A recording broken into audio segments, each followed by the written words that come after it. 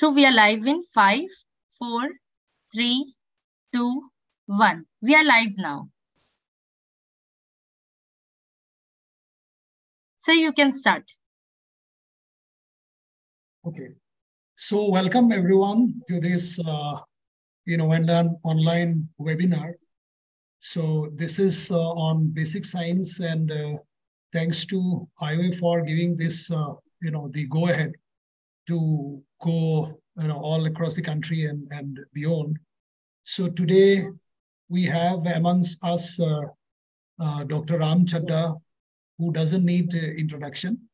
So he has been the president of uh, Association of Spine Surgeons of India, as well as uh, president of Indian Orthopedic Association. And uh, he has been a prolific spine surgeon who started career in Mumbai, in Lilavati, and many other top hospitals. So, and he's in Taiwan, by the way, today, uh, and going to give a lecture for the, the spine surgeons in Taiwan, which is a very prestigious lecture. So with uh, not spending much time because he really doesn't need any introduction, I'm sure. So, sir, please over to you. Good evening, everybody. Thank you very much, Dr. Bhaskar. Um, on behalf of the Indian Orthopedic Association and our president, Dr. Atul Srivastav, I welcome each one of you for the uh, Basic Science Subcommittee uh, webinar. Uh, we have a committee which includes brilliant people, three of whom are in front of you. That's Dr. Anand Thakur, Dr. Samarth Mittal, Dr. Bhaskar Borgohain. Uh, Madam Shobha uh, Arora is uh, not physically present with us right now, but she has uh, sent her blessings and her good wishes for this event. And it is an integral part of our training and our daily practice that basic sciences should be learned, relearned, and repeatedly relearned because that is where we actually gain our knowledge.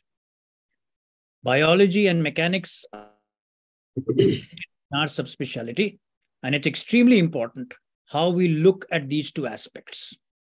We have none other than Professor Dr. A.J. Thakur, a very, very senior, respected teacher of ours, past president of the Bombay Orthopedic Society, who is with us and I feel humbled that we are all here in his presence and what will be a very, very educational, intriguing, informing, and inspiring presentation.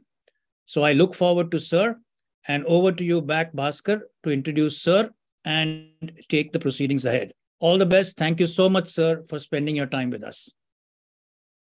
So thank you very much. Uh, so now, as you all heard, uh, Dr. Professor Anand Thakur sir is going to, you know, he also doesn't need any introduction. He has been a veteran in the field.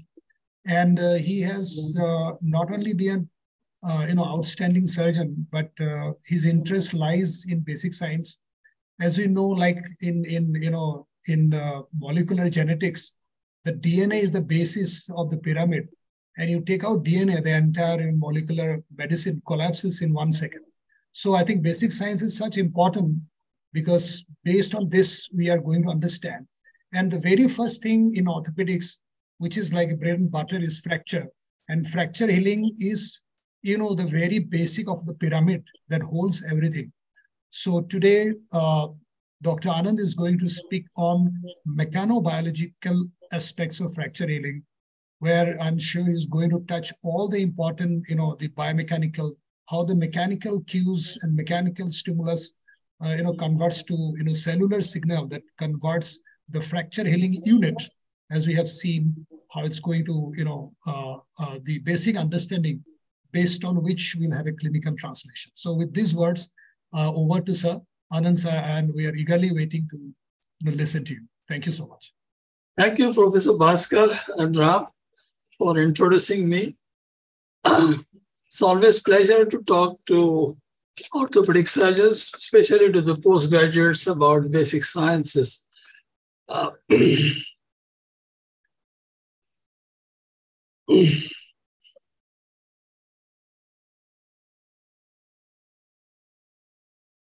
I'll simply share my screen so that everybody can see what is happening.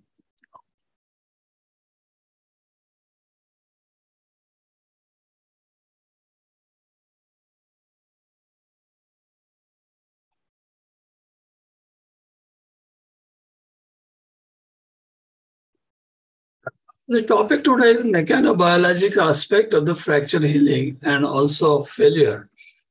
To briefly talk about myself, I would say my books are my introduction. This uh, book has been useful to a lot of orthopedic surgeons for last 25 years. And uh, uh, it has got a lot of content about basic sciences. And based on this only, I'm going to talk to you. My other book is uh, on locking plate, which is comprehensive information about this particular uh, subject. The third book is of day-to-day use, in which I have given positions and the tricks of using X-rays on day-to-day life in our uh, clinical practice. My passion for uh, pres good presentation has led me to write a small book on PowerPoint uh, which mainly gives you how to improve your presentation uh, and make it excellent, stand out everywhere. Recently, I have modified this book for use of uh, Asian subcontinent. That I would say, why should we study basic sciences? In medical college, we study anatomy, physiology, biochemistry, pharmacology, pathology. And by the time we pass out and come to orthopedics, the details are forgotten, but the framework of knowledge remains as a background to develop intuition that is required in working in medicine all the time. Besides, it gives us vocabulary, which is uh, of use in reading literature, in communicating with each other, understanding each other, and progressing on that side. So basic knowledge, basic science is absolutely essential. I introduced word mechanic biology. Uh, what is mechanobiology? By definition, it says it's physical.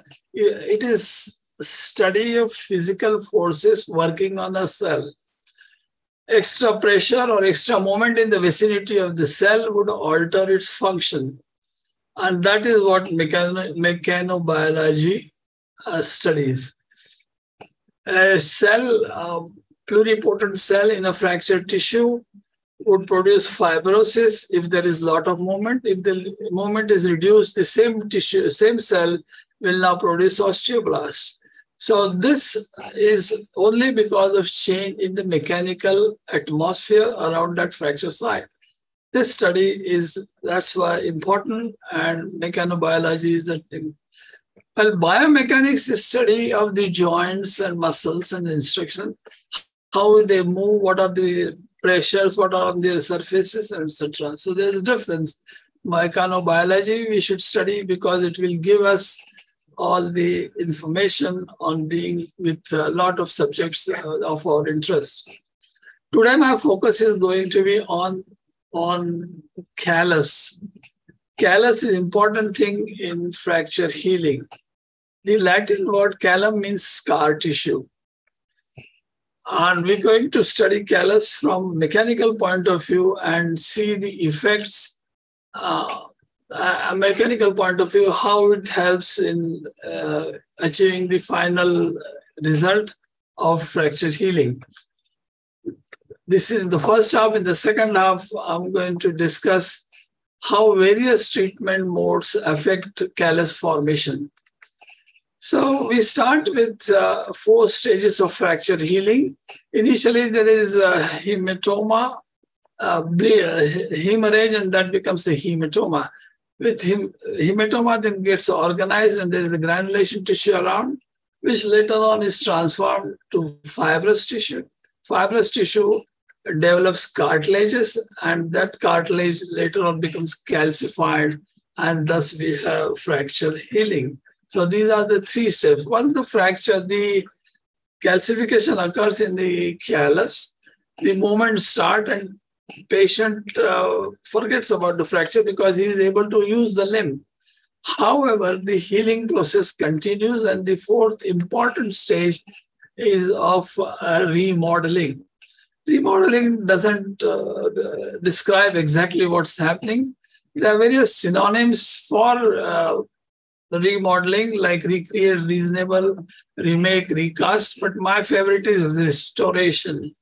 Restoration to the original shape. That is what the final stage does. which is popularly known as remodeling. It means that the final stage or the end of fracture healing is when the, the bone regains its original shape.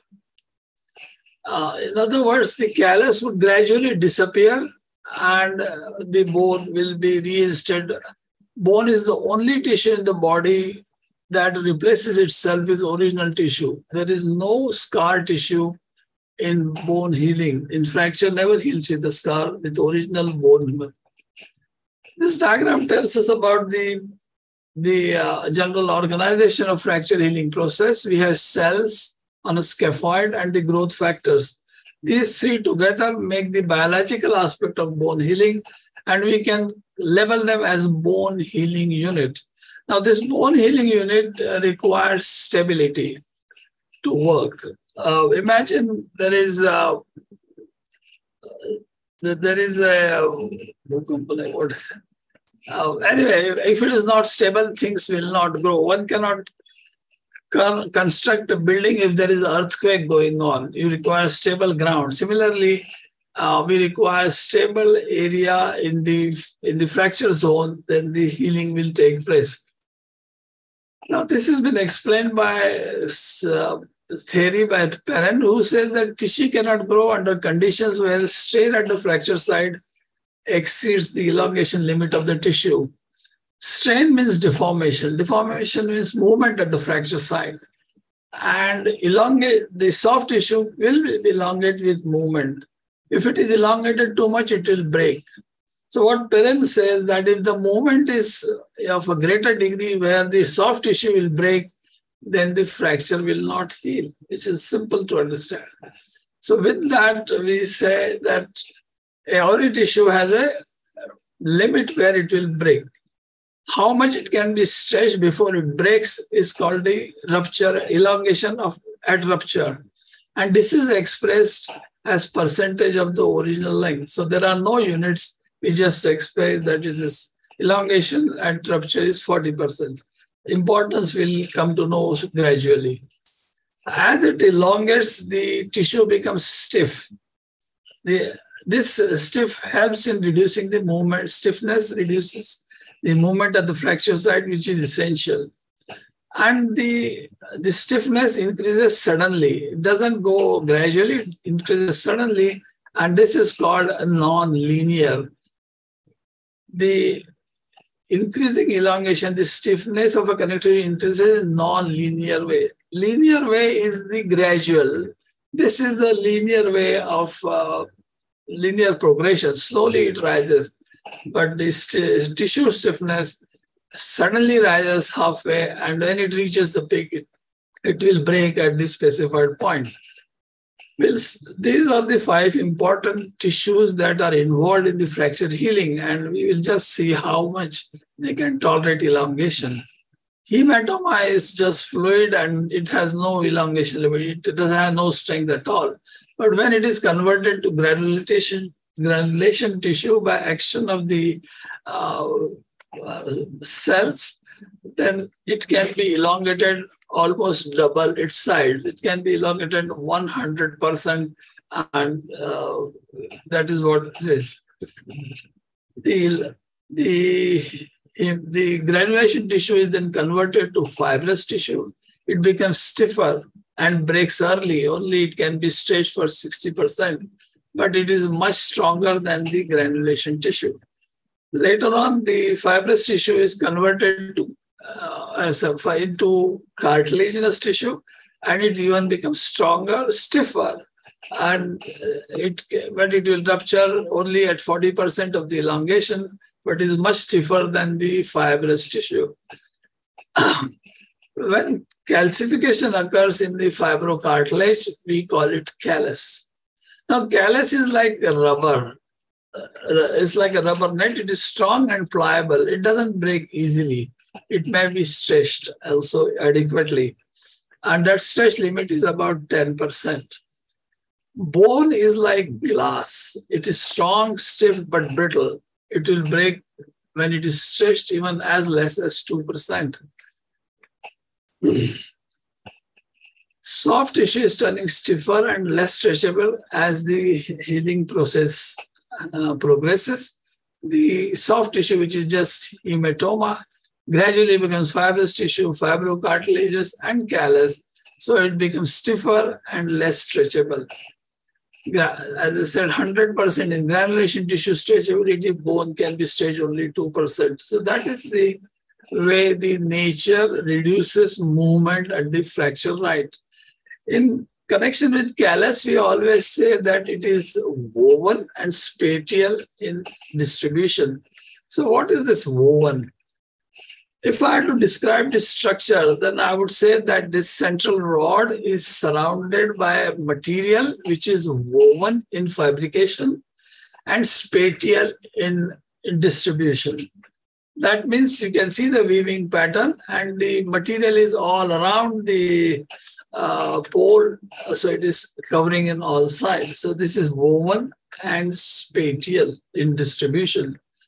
If you see a callus under microscope, something like this is seen where you can see the crisscrossing fibers and also the mature cells underneath. Woven and spatial is an important term. It doesn't break easily. If you take a spring and compress it or stretch it, it changes, but it doesn't break. One considers one particular ring of that uh, spring, then nothing much happens at one spot that is the reason the, spring, the callus does not break easily. It is quite tenacious and is useful. Uh, if we now consider a mechanical point of view of the healing process, we when the there is excessive load on the fracture, it breaks and there is loss of function. Uh, because of pain, the muscles go in spasm and it minimizes the movement at the fracture site. After the fracture, there is hemorrhage and hematoma. Hematoma later on granula uh, uh, becomes solidifies, is converted into granulation tissue. The granulation tissue has, has stretchability, so it allows, but still it's stiff. So it it uh, tends to decrease the movements along the fractures of the tissue. In a few weeks following the fracture, uh, the tissue modification reduces the fracture mobility and increases the tissue stiffness by a factor to the power of 10. As the granulation tissue is converted to fibrous tissue, the movement decreases considerably. Later on, the fibrocartilage develops and the calcification occurs, so the movement really goes down very, very fast. And what then we call it is callus. Callus is very likable, laudable. We all want to see callus when we are treating fracture because we know that is the beginning of the healing process. And patient also feels that he can use the limb as and when required. Mechanically, what is happening in the callus is that the diameter of the fracture zone has increased and that makes it stronger against axial and bending loads. When before the fracture or just after the fracture, the diameter of the bone is only this much. But when the hematoma organizes and later on becomes a callus, the diameter is increased. Because of this bigger diameter, the fracture site has become stronger than the bone itself. And this is described as polar and area movement of inertia. Increased circumference makes the fracture site stronger, even stronger than the bone itself. to explain this, these two terms, uh, a, a circular object uh, and a larger circular object. So the if torque is applied, then the larger circular object will withstand more rotational or twisting force than compared to the smaller circular object. Similarly, if a, a bar or there, then a bar of four millimeters will be weaker than a bar of seven millimeters when bending load is applied to that is small. Here is a representation of infra, a bone, which is immediately after the fracture. And if you apply a bending load, there, there will be a lot of uh, displacement. As the callus occurs, there will be increase in the diameter at the fracture site. And now if we apply a bending load, then the displacement will be much less. So this is because of the larger area of movement of inertia at the fracture site. In simple terms, what it means is that if the diameter is much larger, the the area would be stronger. The junction, the fracture junction would be much stronger than the bone itself. And it will withstand the rotational force, that is the polar, or the bending forces, that is area movement of inertia. These terms are technical terms, but the engineers use it, and it's worth knowing that it gives us an idea how things are happening in nature. if we see the, the thing happening that it is reducing the movement at the fracture site at every stage from hematoma to granulation to fibrous tissue to cartilage. At every stage, the nature's attempt is to reduce the movement at the fracture site so that the healing takes place. And there, what did I say? When it comes to the bone area, the when the when there is bone formation or a strong calcified callus formation, the impact of the fracture on patient is lost. He is able to use the limb, so he feels things are over. But the end heal point of the healing is complete remodeling, which goes on for a very long time without patient realizing it. Uh, here we see there is a big callus, uh, calcification seen, um, calcified callus seen, which gradually decreases in size and ultimately disappears. The callus disperses itself as the healing takes place. Ultimately, two bone ends join together with the original bone tissue without leaving a scar. That is the final healing which takes a long time after the fracture, the patient is started using his uh, limb actively. So that is the complete story of bone healing. Callus is a transient tissue,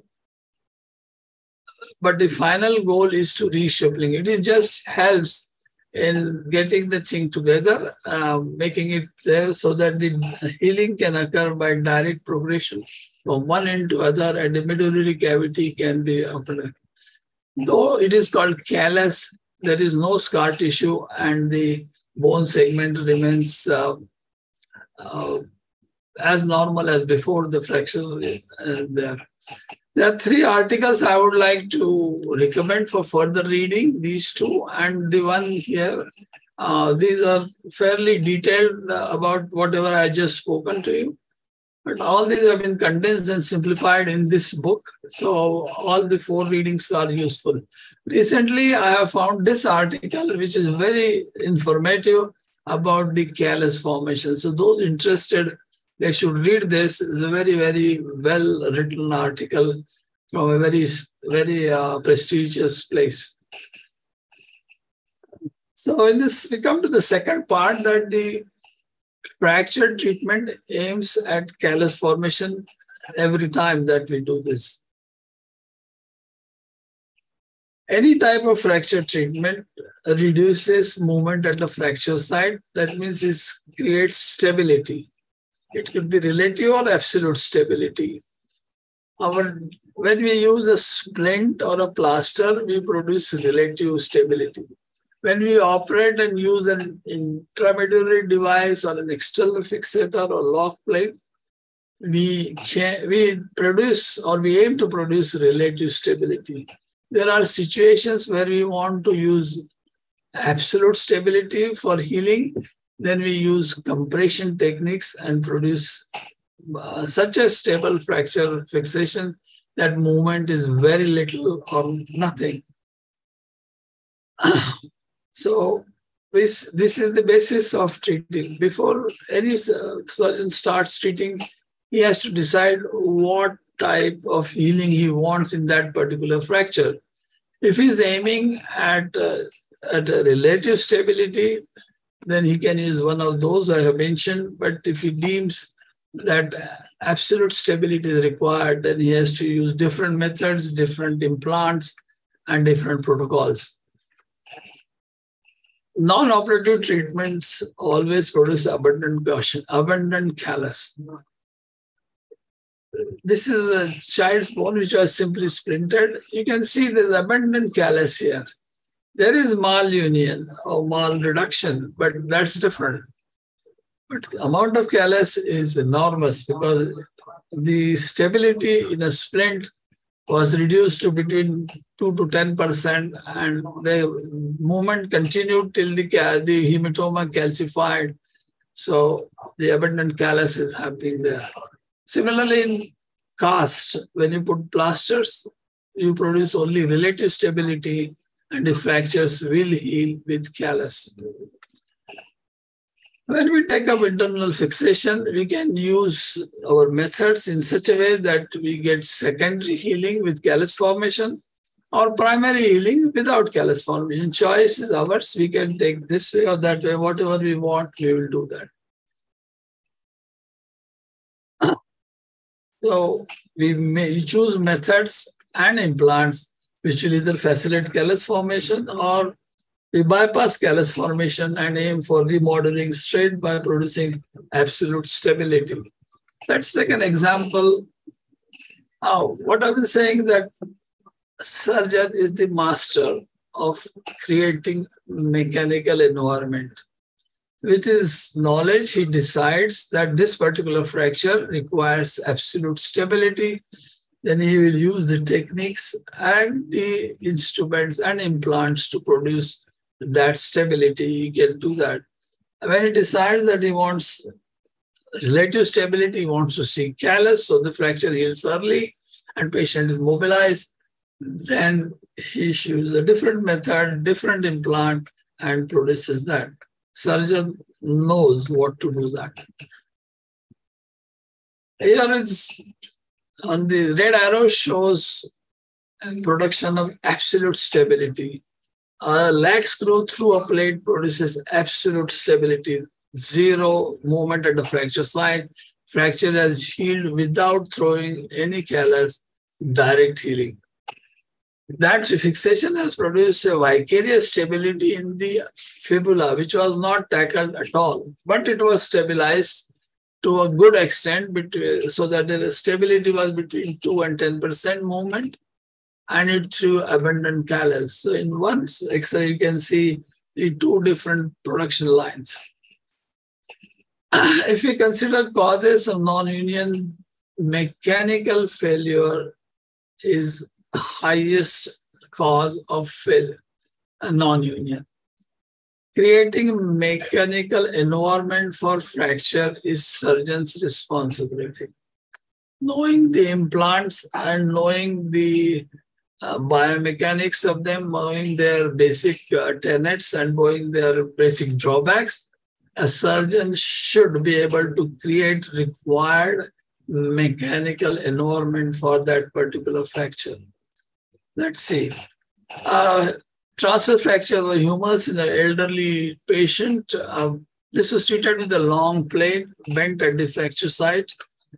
And uh, maximum number of uh, standard cortical screws were used, but only end screws were locking to produce the stability. So it did not give a very, very high level of stability, but just adequate enough. So there was little movement, and you can see callus formation at the fracture site. Fracture healed very satisfactorily. Uh, one couldn't have gone for the absolute stability because the quality of bone was not as good as one blood. This lady was about 70 year old, so it was not. But the aim, so decided to go for the relative stability and was achieved like this. But in a young person, the same technique, same plates, and compression was applied using a compression device. and absolute stability was produced. You cannot see a spot where the fracture was in 14 months. Everything has remodeled. By producing the compression stability of very high degree, we send the message to the bone forming unit that there is no need to go for callus formation. They can proceed for direct healing from end to end, from cortex to cortex, and medullary canal can be recanalized as early as possible. Body is quite sensitive to mechanical environments, which can be seen here. Now, when you see uh, the, the stability was so high that the and reduction was perfect, so that the creeping substitution from one end to the other started almost immediately, and primary healing was achieved in this case. Who else can we blame except for the surgeon? He has used a very short plate. That too, the length has not been fully utilized length of a applied plate is only from the last screw on either side of the fracture. The if you, the last the terminal screws on both sides of the fracture have not been utilized. That means those plate does not exist there. Functionally, the plate exists between the top screw and the bottom screw. That's all. If you take that measure for this kind of fracture, this is a very short plate, and the screws are also cortical. Uh, so inadequate stability was there, was mechanical failure, and no wonder that it went to non-union. This is not understanding the need for higher level of stability to achieve fixation. In lower limbs, usually we go for intramedullary nailing, but in this particular, the plate was utilized heavy duty uh, stainless steel plate was used with this device. It produced adequate stability and there was excellent amount of callus formation. Not only that, there was a periosteal callus formation, there also endosteal callus formation.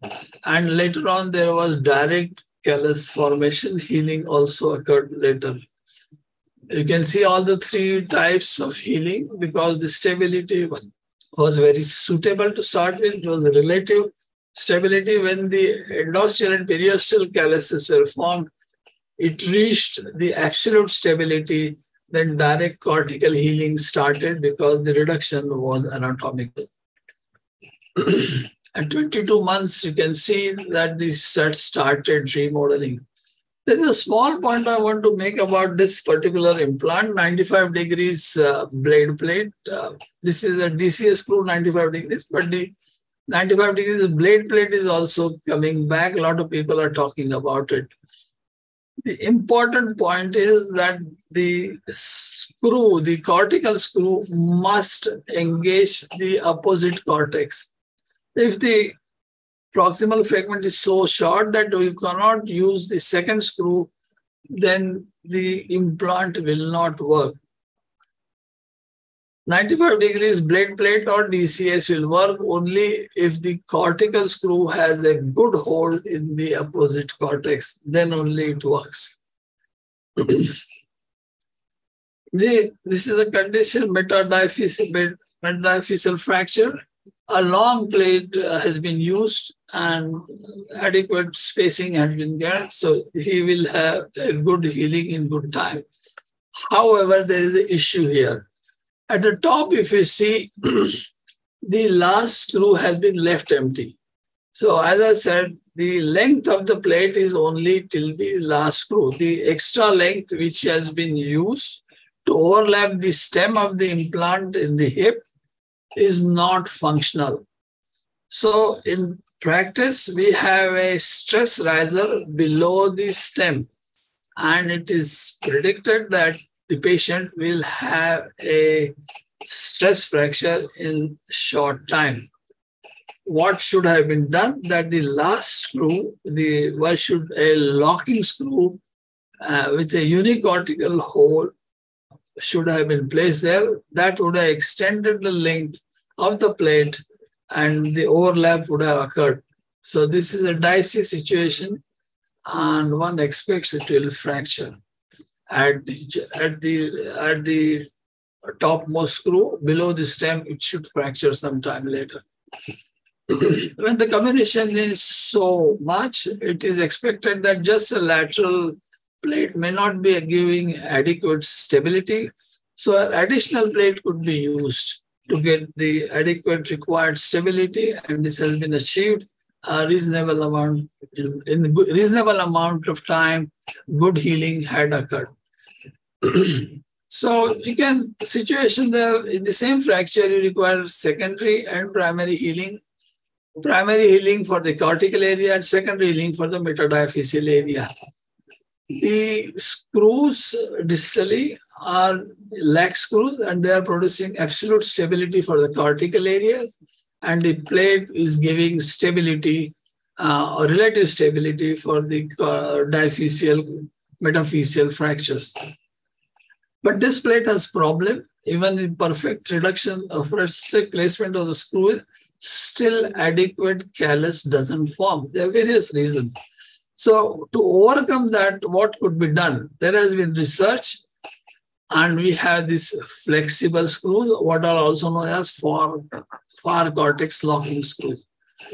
When this screw has a hole in the plate and also on the distal fragment, but no hole in the proximal uh, cortex. When loaded, it will bend and the both the, the proximal and distal cortex will move equally well, which can see here. The movement induced by this uh, far, far cortex locking is that is parallel and exaggerated movement proximal and distal fragment. With this good amount of callus is formed. This is the picture of uh, uh, far cortex locking screw. One model which has been crossed has been discontinued, but the other one, the number B model, is still available for consumption. There are examples where this technique has been used and one can see uh, adequate amount of fracture. The problem with uh, far cortex locking screw that it does not work in short screws. So what do we do? We invent another plate called active plate It's a piece of metal which is enclosed in silastic uh, sheath and that is put in a slot inside the plate. This then becomes uh, the uh, hole. And the plate uh, looks like this, but one can use it as a locking plate. And it gives uh, it enhances callus formation at diaphyseal sides by symmetrical dynamic axial dynamization.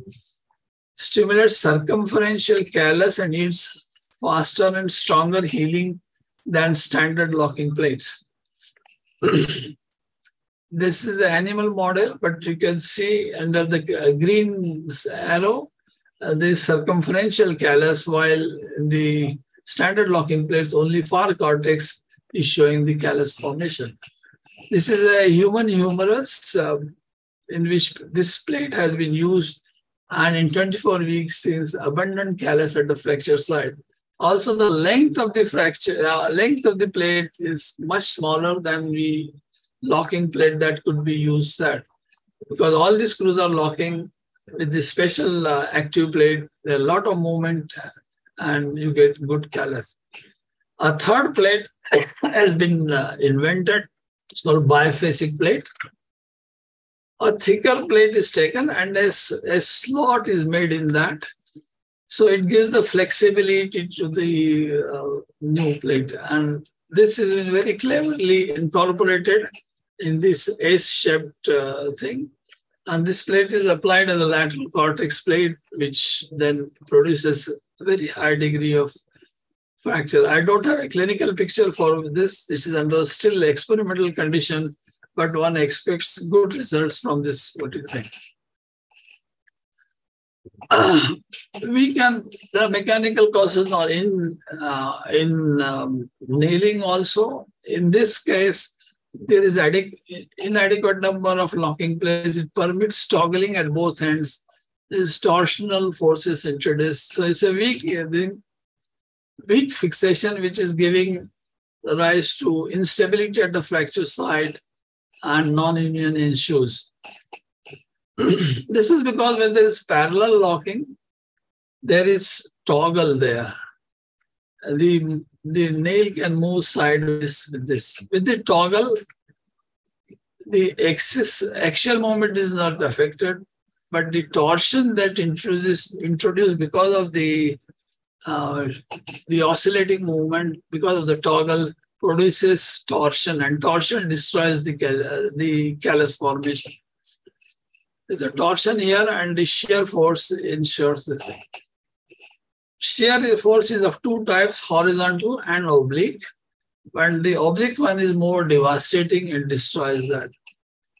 So there was a mechanical error, poor fixation on either side. So shear motion to the fracture side caused non-union. To get over it, one could either do exchange nailing or there is a new method. All you got to do is to improve uh, the stability at the fracture site and if the screws are passed by percutaneous method, adequate stability could be used. Here is an example uh, how just by passing three screws, adequate stability and union was achieved. So it is a question of understanding the mechanical situation, environment at the fracture site, and the surgeon should endeavor in one way or the other to create stability of a higher level so that healing can progress satisfactorily and to completion. This is called strain reduction screw, and this article is very good and very useful. One should read that. So, with that, I would say uh, mechanical environment is very important and very useful.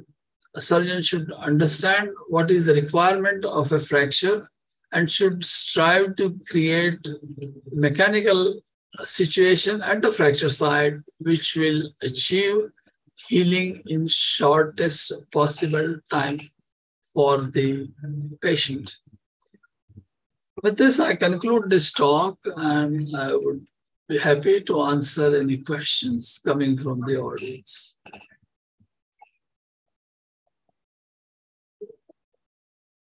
So Thank you very much, sir, for your you know wonderful you know presentation and elucidation and explanation of some of the very crucial and basic uh, points while you know the treating and doing osteosynthesis in various fractures, looking into the biomechanical and mechanobiology. So I I would uh, request uh, the you know the participants if there is any questions and I, uh, Samarth, we can get, uh, you know, question from the participants uh, beyond the. Yes, sir, I'm getting them, sir. Yeah, yeah. I'm getting.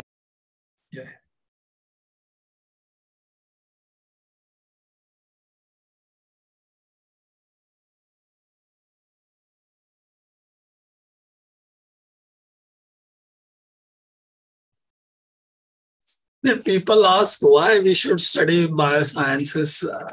Why should we study basic sciences? To it's more to understand or develop a language or words or vocabulary increasing.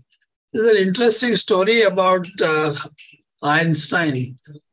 He was invited to a ladies' club for a for a dinner uh, for a tea party and the, there are lots of society ladies who wanted to know what is the theory of relativity. So the hostess asked, uh, asked Einstein, could you explain to us uh, very simply what is your theory of relativity? So Einstein got us, he said, yes, I will explain to you, but first that I will tell you a story. And he said, once I was walking along with my with a friend who is blind, and we were walking around the river it's a very hot day. And I said to my friend, It's very hot. It would be good if I could get a glass of milk. So the blind fellow asked Einstein, I know what is a glass, but what is milk? You explain to me. So Einstein said, Milk is a white fluid. So the blind man says, What is white? Said, white is like the color of the feathers of a swan. The blind man says, I know feathers, but what is swan? So Einstein says, swan is a bird with a crooked neck.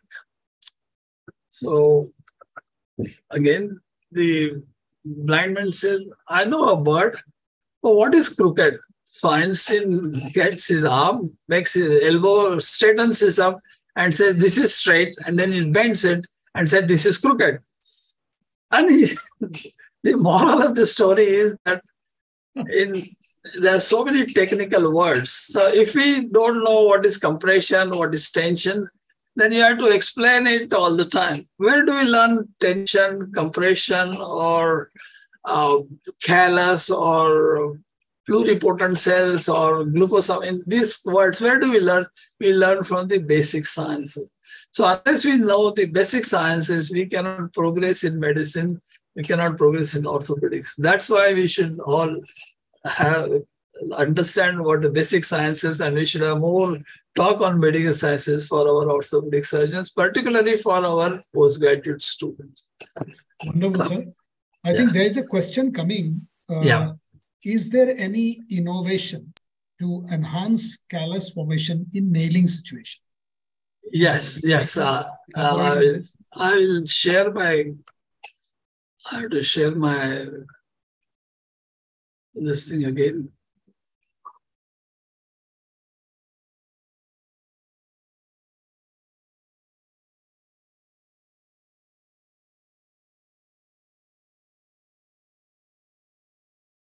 Yes.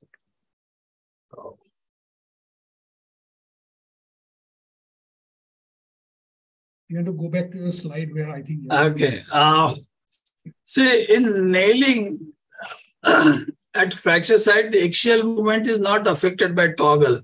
I just showed you the, if there are parallel screws, the toggle occurs. But with the toggle, axial movement is not affected, but it introduces torsion, and torsion introduces shear.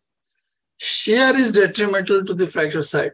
So, to get rid of this uh, torsion or the shear, the more research was done. This torsion introduces shear, and that is what it destroys. So, on removing free play at the nail screw junction to provide enhanced torsional stiffness. So we have multi-angles. This multi-angle locking eliminates torsion and shear. So, but it also reduces axial motion, which is detrimental to bone healing. Torsion and shear is eliminated, which is very good, but it also reduces the axial motion. So there is poor callus formation. Now, this technology is used by all these three uh, nails. Um, these nail, these companies, they all have this kind of this. So many times the calcium, there is not adequate axial movement at the fracture site. So how to get over this was this. You must do something that the tor the torsion is gone, but the axial moment should increase. Research tells us that if you have a fixation in which you allow moderate amount of axial movement, but eliminate the torsion or torque, then you will get abundant callus.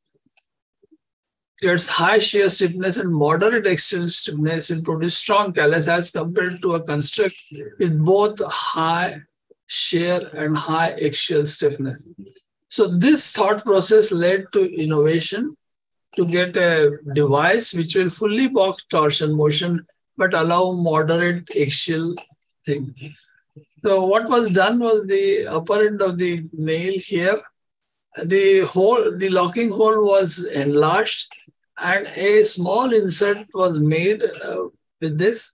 And in this insert, a bushing was placed the bushing had this special slot and the insert also had a special slot so that they don't rotate against each other. The same technology is used in DHS screw. It has got a flat surface on two sides. So the plate doesn't rotate there. uh, it, it holds there. So same thing, slots on either side so that the uh, rotational moment is eliminated. They're kind of locked.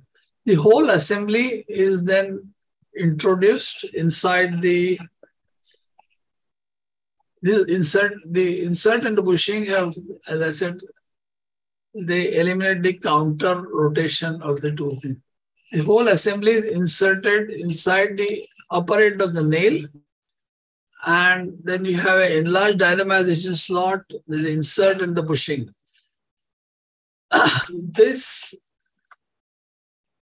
the slot is five millimeters. One introduces a four millimeter screw.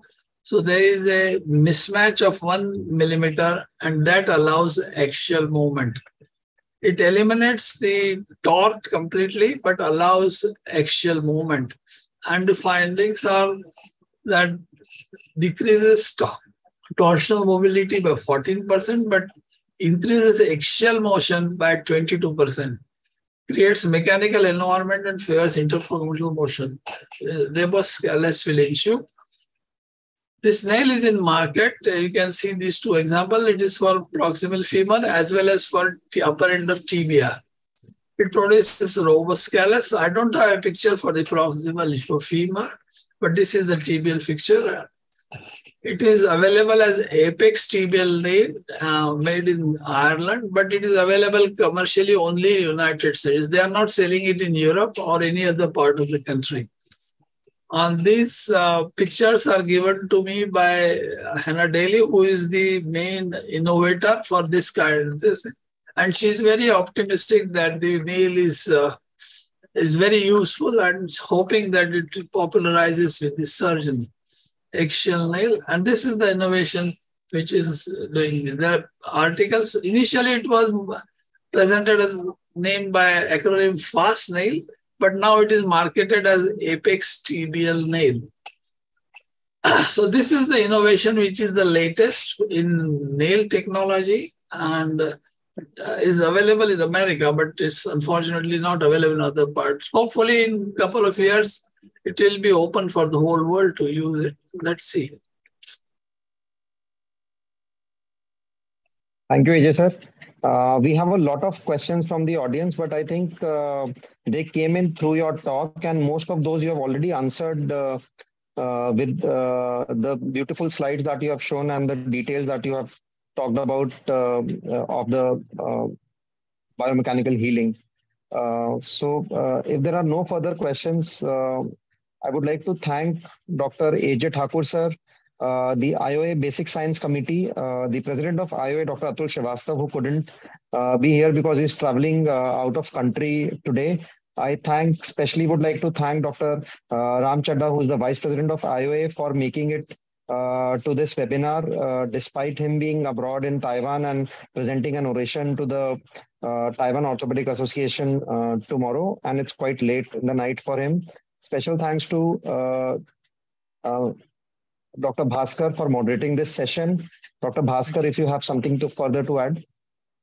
No, thank you so much, Samarth, for your you know initiative to start this uh, basic science uh, learning program, which is going to go a long way in you know learning and unlearning and relearning, particularly for the postgraduate as well as for the seniors. So I thank you for taking this initiative, and uh, I thank uh, Dr. Thakur for you know for a wonderful you know, talk uh, encompassing almost everything on fracture healing. Thank you. Thank you, Professor Bhaskar, and thank you so much. Uh, I enjoyed talking and preparing for this lecture.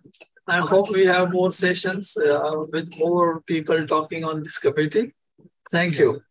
Thank you, sir. And thank, thank you, so for much. all the thank all you. the delegates who have joined online to, you know, who are the, you know, main, should be the main benefactor, you know, and uh, although we are all stakeholder because you want, you know, a very, you know, equitably distributed skill across the country so that we can give, you know, very uniform care across the country. Sure. Thank you. Okay. Thank you. Thank you, everybody. Thank you so much. Bye. Thank you. Thank you. Good night. Poonam, if you could just stop the telecast. Yeah, thank you, Poonam, for all the backup. Yeah. Special thanks to Dr. Neeraj Bijlani for arranging this on Ortho TV and IOA TV to be telecasted to all the delegates. Oh. Right.